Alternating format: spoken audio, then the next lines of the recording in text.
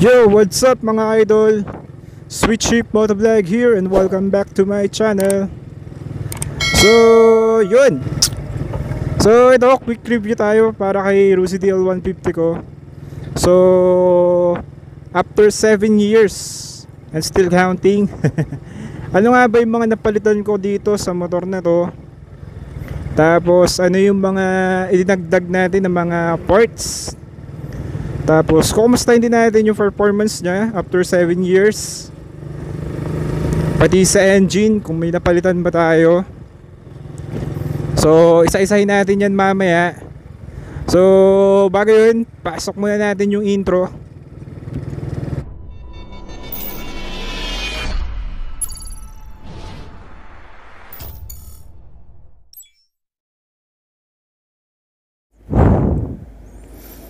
So, yan mga ka-switch ship. So, ito yung ating Rusi DL150. So, ang unang napalitan ko talaga dito is yung fairings, no? Yung unang napalitan natin. Kasi hindi talaga komportable dun sa design niya, lalo pa dito sa may uh, leg shield kasi bukang-buka yun. Kaya yun, nagpalit tayo ng pang rider na fairings. So, full set yan. So, kung gusto niyo mapanood yung full review ko dito do sa pagpapalit ko ng fairings tapos kung magkano ko siya nabili nasa description yung link panoorin nyo na lang doon. So next is ang pinalitan ko dito so yung tire. Yan. So kung mapapansin nyo malaki siya. So yan halata naman nga dito kasi sumasabit dito sa part na to. Kasi dati ang tire ko is uh, small tire lang. So, bali yung rear is uh, 60 by 70 tapos yung front ay 50 by 70 so maliit lang. Kasi dati ang pormahan nito is drag bike no?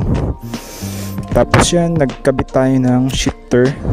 Kasi mas komportable siya compared dun sa stock.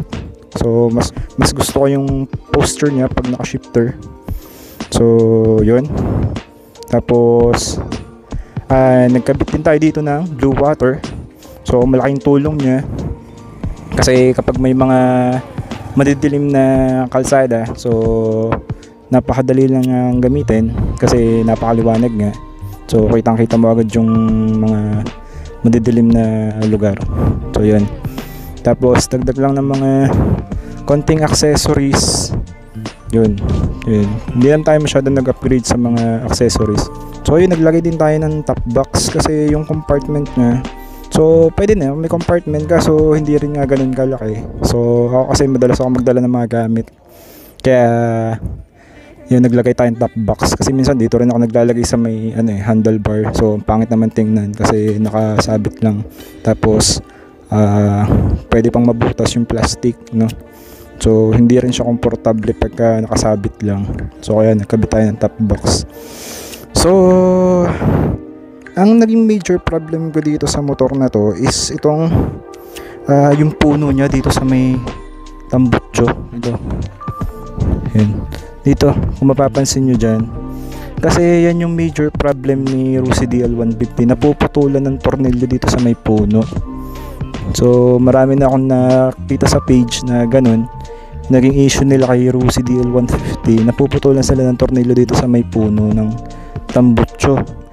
So, ang nangyari dyan, nung naputulan ako, uh, pinamachine shop ko, tinanggal yung cylinder head, uh, bale, pina-oversize yung sukat nung uh, thread, yung pagkakabitan ng tornilyo. So, mas pinalaki yun para mas okay daw, para hindi na maputulan, tapos stainless siya. Yun. Tapos sa engine, so ang napalitan ko pa lang sa engine ay yung uh, bulb. Kasi nagka-problema siya nun.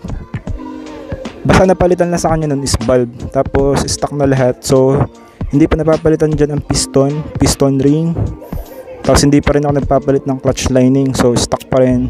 After 7 years, yun pa rin ang gamit ko. So wala pa akong pinapalitan. So stock na stock pa lang. Stock na stock din siya. So sobrang uh, ayos pa rin ang makina. So yun lang bulb lang. Tapos ah ang isa ko pa napansin dito ah medyo umingay na siya. Pero regular check up naman ako dito. Ah, regular change oil nga, tune up. So, yun lang, parang umingay siya, no? Kasi siguro sa tagal na rin nga. Pero hindi naman siya ganun sa sobrang ingay. Medyo parang may lagitik na rin. So, tara, start natin. So, yan. So, kaya na lang humpasga doon sa tunog ng engine niya. So, yun.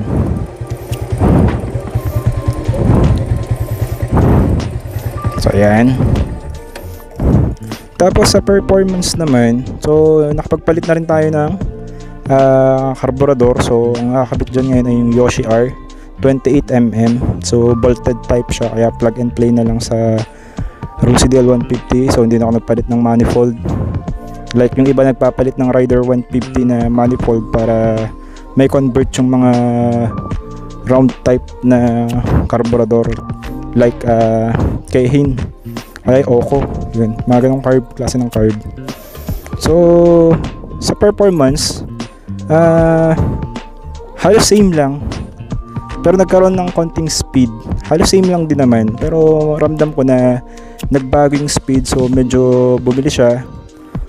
So although ano siya push rod engine. So yun nga malakas sumatak pero medyo maingay nga. Kasi yun nga ang klase ng engine niya push rod engine. So malakas sumatak tapos speed. Yun may speed nga siya tapos ang combination ko kasi dito sa ano ko dito sa uh, dito sa sprocket is uh, 1434 so uh, pang high speed siya kasi dati, uh, yun nga, small tire ako. So, parang pan-drag bike ang combination niya. So, ngayon medyo nabawas-bawasan yung speed niya kasi ito, nagpalaki tayo ng gulong. So, nagbago yung performance ng takbuhan niya. Pero, okay naman sa speed yun niya. Okay naman siya. Tapos yung vibration, medyo nabawas-bawasan. So, okay naman yung vibration hindi talaga mawawala sa Rusi yun kasi yun nga halos uh, lahat ng units na lumalabas nila is may vibrate so ewan ko lang doon sa mga bagong labas ngayon ng mga uh, model nila kung ganun pa rin kasi yung dati uh, medyo mabibrate yung kanilang mga units na lumalabas so itong Rusi DL150 ko is year 2012 model So, uh, matagal na rin nga. 7 years. Pero, overall naman, uh, okay na okay siya. So, yung performance, okay, sulit naman sa pitong taon. So, yung naging major problem ko nga lang talaga is yun lang sa may uh, head lang. Yung sa may puno ng tablucho. So, naputulan ako nun. So, talagang binaklas ng cylinder head para ma oversize yun napatanggal yun kasi naiwan yung kalahati ng tornilyo eh so yun lang naman so madami na rin talaga ako napalitan dito so hindi lang yan nag dati nag uh, uh, change na rin tayo ng handlebar so parang drag bike din yun ng style so medyo naka ano siya, naka-close ganun. Parang pang drag race nga ang modification ng motor na to. So, yun lang. So,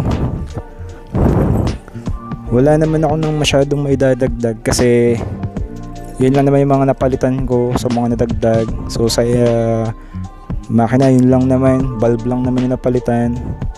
Overall stock na sa engine.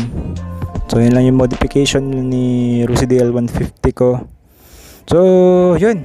Thank you for watching. So, don't forget to like, share, and subscribe. At i-hit mo na rin ang notification bell icon para ma-notify ka sa mga bagong videos pa na upload ko. So, see you next vlog mga ka-Sweet Sheep. And thank you for watching ulit. So, stay safe. Sweet Sheep Motovlog signing out. Peace.